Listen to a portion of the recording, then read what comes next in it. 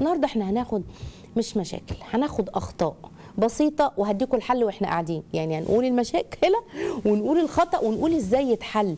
هنعمل طبعا الميزانين بتوعنا الجمال جدا علشان عارفين أنتوا الزوجات بتزعل انت عمالة تقولي علينا علينا علينا في الاخطاء ما بتقولهمش لا إحنا هنقسم الحلقة النهارده إن شاء الله أخطاء للزوجات بتقع فيها وازاي نصححها وأخطاء بيقع فيها الأزواج. أول حاجة ورقة وقلم بقى بالله عليكم كده واكتبوا ورايا اللي أنا هقوله ده. أول خطأ بتقع فيه الزوجة إنها بتتنازل عن سعادتها. بتتنازل عن احتياجاتها الأساسية بتهملها. إيه إزاي هتسعدي غيرك من غير انت أصلا ما تحسي بالسعادة؟ في فرق خلي بالكم إنك تؤثري غيرك على نفسك ها؟ بؤثر زوجي بؤثر أولادي على نفسي. وفرق كبير جدا إنك انت تلغي احتياجاتك المادية والنفسية والعاطفية. ده غلط. تقول لي هدومك مقطعة ومش عارفة إيه عشان هم يجيبوا. آه ده ممكن في مرة لكن مش عشان انت ما بتطلبيش. طب ما تطلبي. يعني هو مش شايف يعني هو مش شايف إن ما عنديش هدوم هو مش شايف إن أنا محتاجة كده هو مش شايف. لا لا لا لا لا مش هو المفروض يجيب من نفسه يعني؟ أصل أنا بتكسف أقول له أصل أنا مش عارفة إيه. لا لا ده مش صح.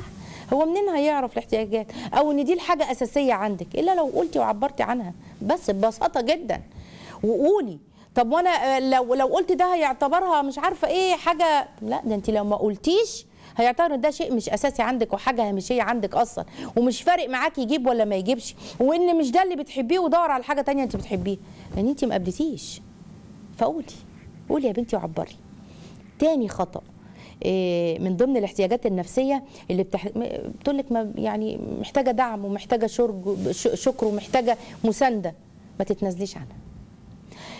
الدعم والشكر والمساندة أكسير الحياة بالنسبة للزوجة. صدقوني. ده اكسير الحياة. ثالث حاجة احتياجاتك العاطفية اللي انت محتاجاها دي. إيه ما تقولي إن أنا محتاجة كذا. قولي لزوجك أنا محتاجاك تقول بالشكل الفلاني. وتعبر لي عن حبك أو عن عواطفك أو عن مشاعرك بالطريقة الفلانية. اللي انت بتحبيها. وتفهميه وتعرفيه إنك بتحبي تتعاملي بواحد اتنين تلاتة بالشكل ده بالنموذج ده. ويقول لك الكلام اللي انت محتاجة تسمعيه اللي هو ده بالطريقة دي. فغلط جدا إنك ما تقوليش. وبعدين بقى تيجي تشتكي بقى. تيجي تشتكي من زوج ده مقصر معايا ده ما بيقوليش. هو انت مش عارفة طب هو انت عرفتيه أصلا؟ انت ما عرفتهوش. ولا عبرتي عن اللي جواكي. وتنازلتي تنازلتي تنازلتي لدرجة إن خلاص بقى أمر واقع. وعدم تلبية احتياجاتك دي ده بقى من الكماليات والرفاهيات. مين قال لك إن زوجك عاوزك تتنازلي عن احتياجاتك؟ مين فهمك المعلومة الغلط دي؟ لا بالعكس جدا. طبيعة الراجل أصلا بيحب يشعر ان زوجته بتحتاج له وبيحب يشعر عنده شعور كده إن هو الفارس البطل المغوار بتاعها اللي بيلبي طلباتها واللي بيحاول يسعدها.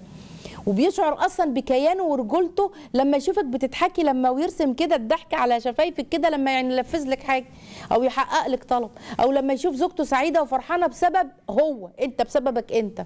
دليل كده شوفي إزاي لما أي راجل وأي زوج بيشتري لزوجته حاجة أو بيحقق لها طلب معين وبيسعدها يقول لها إيه مبسوطة؟ ها؟ سعيدة؟ ها؟ إيه عجبتك الأمر ده؟ ويفضل يسألها. سعيدة؟ طب عجبتك الأمر ده؟ أنت مبسوطة منه؟ وبيسمع منها الرد. ده بيخليه إيه بقى؟ الأمر ده بيخليه يشعر بكيانه وذاته وإن هو قادر أصلا على إسعاد الزوجة اللي معاه. نصيحة بجد بجد كل ما أشعرت زوجك بقدره أو قدرته على إسعادك وإن هو فعلا مصدر بيخليكي فرحانة كل ما هو بذل أكتر وأكتر عشان يسعدك أكتر. تبقى دي الخطوة الأخيرة باقيه بقى إنك أنت تشكريه على اللي عمله وعلى اللي بذله وعلى اللي عطاه وعلى اللي إنه لبى طلبك. ده شيء جميل جدا وبيفرح الرجالة جدا إنك تشكريه. يقول لك آه، آه، الزوج بيبقى حاسس إن زوجتي حاسة بيا ومقدرة تعبي ومقدرة جهدي ويبقى أول خطأ إنك ما تعرفوش. احتياجاتك؟ يبقى لازم تعبري عنها وباحترام وبطريقة رقي في التعامل وإحنا بنقول. وتاني حاجة خطأ ما بتعمليهوش إن أنت ما بتشكريهوش. ما بتشكريش زوجك. خلي بالك عندنا حديث كارثة. حديث صعب جدا جدا جدا حديث صعب. بجد وحذرك إن أنت تقعي فيه كل زوجة بحذر إنها تقع تحت طائلة الحديث ده. اسمعي. لا ينظر يا نهار أبيض من أولها كده. لا ينظر الله إلى امرأة لا تشكر لزوجها ما بتشكروش. وهي لا تستغنى عنه. يعني إيه الكلام ده؟ ما بتشكرش زوجها. وفي نفس الوقت هي ما بتستغناش عنه. طاعة الزوج والإحسان إليه والاعتراف بجميله وشكره من الأمور اللي بتستوجب رضا ربنا على فكرة. مخالفة الأمر ده بتجلب السخط بتاع ربنا سبحانه وتعالى وعذاب ربنا. والحديث بتاع النبي صلى الله عليه وسلم لا ينظر الله تبارك وتعالى لا ينظر وصفة النظر من الصفات الفعلية لله سبحانه وتعالى. مقيدة طبعا بمشيئة ربنا سبحانه وتعالى. لا تكون النظر دي إلا بإيه؟ إلا لمن يحب الله سبحانه وتعالى. المعنى إيه؟ الله لا ينظر نظرة فيها رحمة. خلوا بالكم بالله عليكم. إلى امرأة لا تشكر لزوجها وهي لا تستغني عنه. يعني يبقى زوجها بيحسن إليها. وكان واداها كل الأمور لدرجة تصل لعدم الاستغناء عنه. ومع ذلك هي لا تشكره. وتكفر معروفه. ما نقصدش بالشكر هنا مجرد الشكر باللسان لا ده بتأذيه بمساوئ الأخلاق والأفعال والخصال. الشكر بيقصد به هنا الثناء باللسان والأفعال. ما إظهار سرور زي ما قلت لك تبقي سعيدة معاه.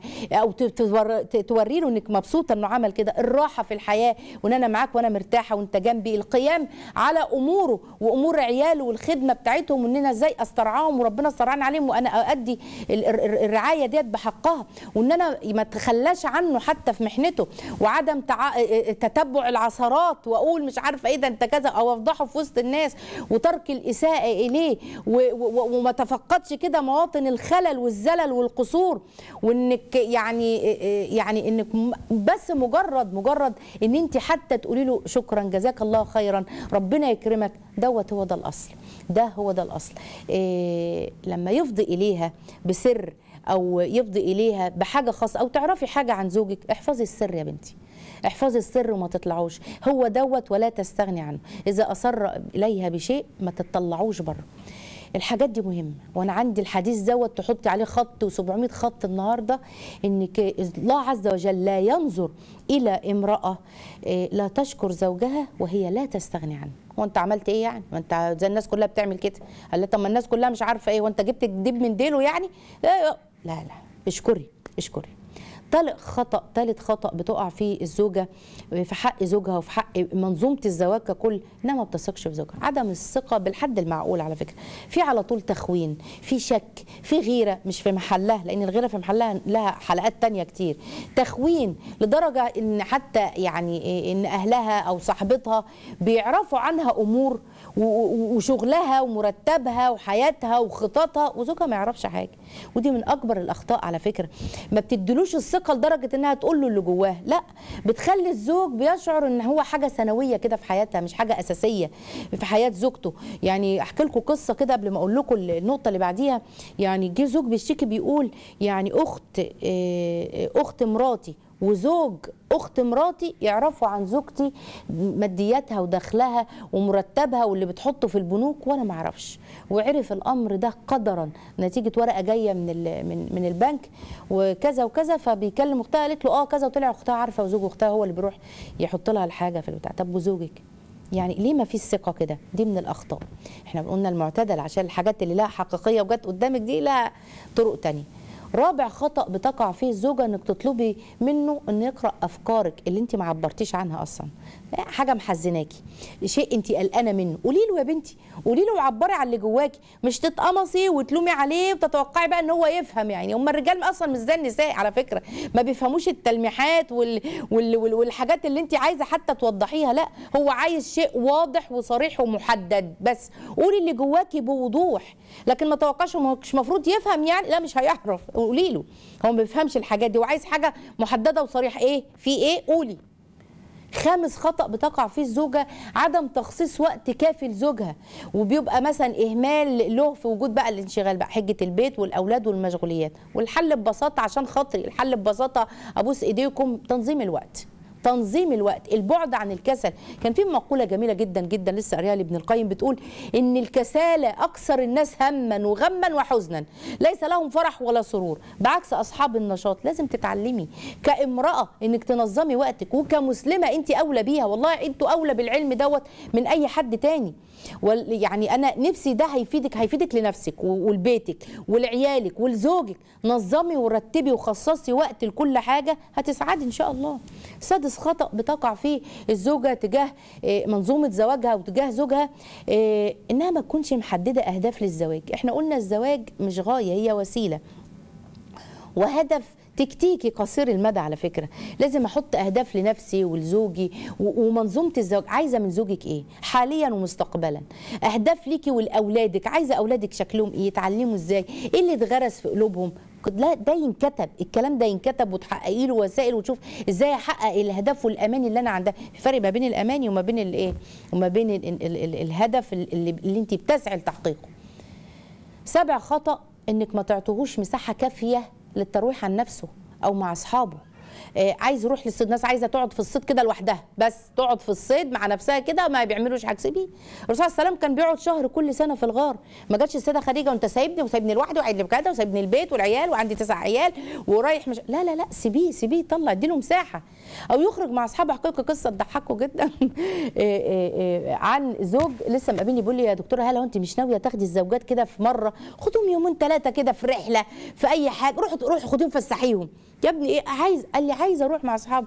هي بتحبني وأنا والله بحبها بس هي كبس على نفسي مش راضية تديني حتى مساحة ان أنا اخرج وان أنا أروح. نفسي اعيش مع اصحابي شوية يوم كده ولا حاجة مش تقول لك لا اللي بنحب بعض نروح مع بعض ونخرج مع بعض. أيوه أيوه ليكي وقت ليكي وقت انت وبيتك وزوجك وليكي وقت ما هو مع اولاده وليكي خروجة أنا لا أنكرها عليكي ودي أساسي لازم فسحة ولازم حاجات تحفة.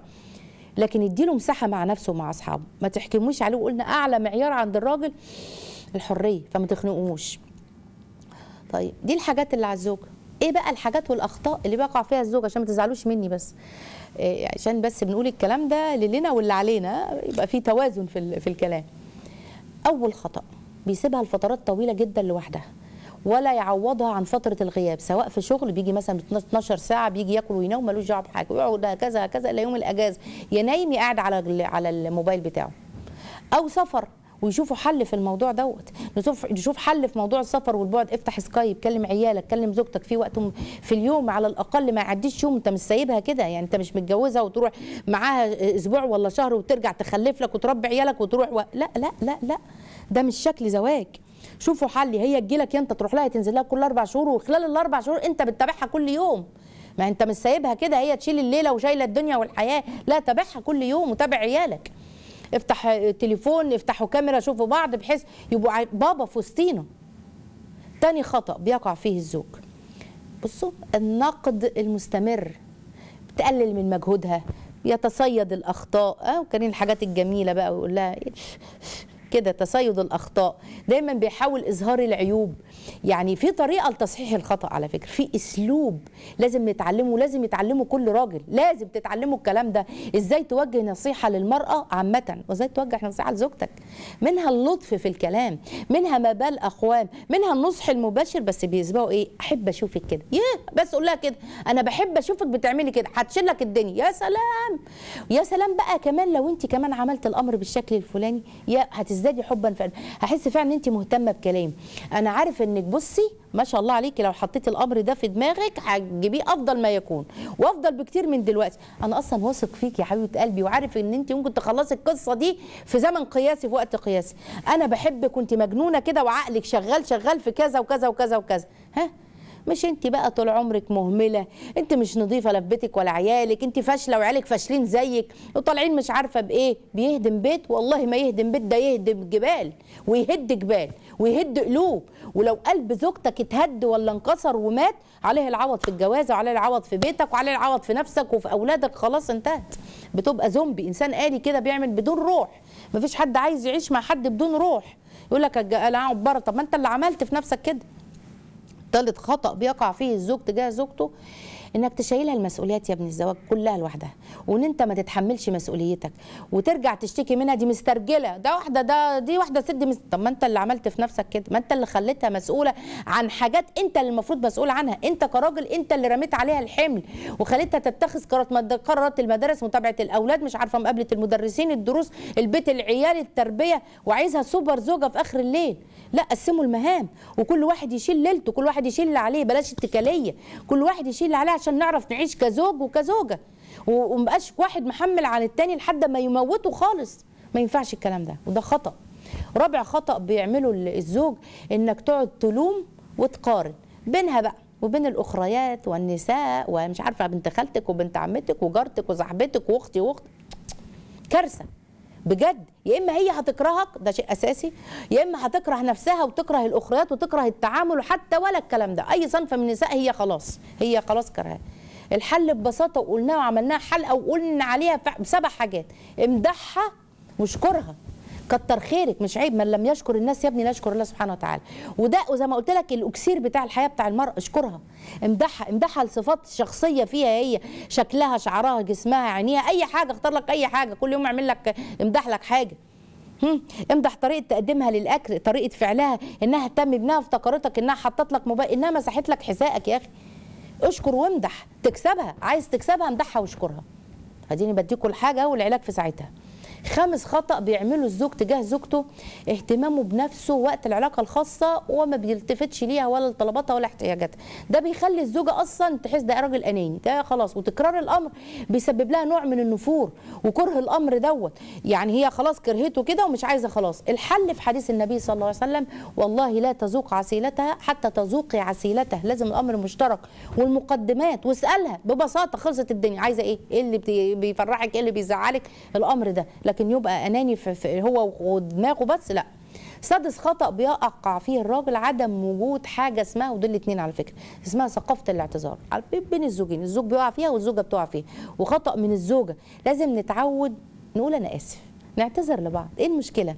إيه المشكلة أما أغلط أقول كذا؟ مش شرط يعني يعني أنا بقول اعتذار الزوجة بيختلف عن اعتذار الراجل يعني. خليكم مرنين في تقبل الآخر وكده. مش شرط أقول أنا آسف لكن جيت وعملت مش عارفة إيه جيت بص راسها جيت جبت لها هدية جيت كذا. مش شرط أقول لك أنا آسف وأنا غلطان والتمس لك مش عارف. لا لا لا لا. وأنت نفس الكلام. إيه، مش عيب لما الواحد يقول كده. ده يعلمك تقول استغفر الله. على فكرة اللي بيقول عنده ثقافة اعتذار كتير للاستغفار لله سبحانه استغفار بقلب. أنا آسف يا رب. اغفر لي يا رب أنا مش هعمل كده تاني يا رب. هو ده اللي بيعمل كده هيعمل كده. وعيالكم كمان زي الكلمة يتكبروش ولا يقولوا لا يتعلموا هم كمان. يقولوا أنا آسف يتعلموا ثقافة الاعتذار وثقافة الاستغفار لله سبحانه وتعالى. سبع خطأ بيقع فيه الزوج تجاه زوجته هي الخيانة. هو الأول بيكون خان الله سبحانه وتعالى. يعني اولا يعني. وبعدين خان الله فيها ثانيا. وبعدين خان نفسه. خان الميثاق الغليظ. والخيانة مش جسدية زي ما قلنا. الخيانة خيانة حب وأمان خيانة عاطفة خيانة ثقة خيانة دعم خيانة عشرة خيانة وقت خيانة الأمان اللي كان موجود ما بينهم. يعني إيه، ونرجع تاني وأقول الحل في أول نقطة قلناها في أول الحلقة خالص. الرجوع لله سبحانه وتعالى. ونتعلم إزاي نكون قريبين من ربنا سبحانه وتعالى. إيه الحاجات اللي نعملها اللي تخلي ربنا راضي عننا عشان نقرب؟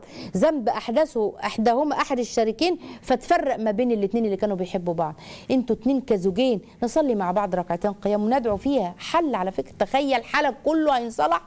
بالركعتين دولت. طلباتك مجابه الله سبحانه وتعالى أصلا. هل من داع؟ هل من مستغفر؟ هل من له حاجة؟ عايزين إيه؟ خلي زوجتك تسمع صوتك في الدعاء وتأمن عليك. وأنت تسمع بكائها وأنت بتصلي في صلاتك. خلوا ما بينكم الأمر ده. والله عز وجل يسمع دعائكم أنتوا الاثنين ومناجاتكم أنتوا الاثنين والله حل كل مشاكل الدنيا وحل المشاكل ما بين كل زوج وزوجة. في انكم أنتوا الاثنين تتصلوا بربنا تاني. تتصلوا وتعيدوا وتكلموا ربنا تاني. ويبقى بينكم وما بين ربنا حال بينكم وما بين ربنا ركعتين. ما كان لله يا ابني ده ما اتصل. يدي الزوجة ويدي الزوج. لما يبقى في بيني وما بين زوجتي حاجة لله ما كان لله دام واتصل. اعملوا حاجة مع بعض واعملوا طاعة مشتركة ونستغفر على ذنب أحداثه إحداهما. ونشوف طبيعة الأخطاء اللي قلناها النهارده وكل واحد يراجع نفسه. أنا فين من الأخطاء دي؟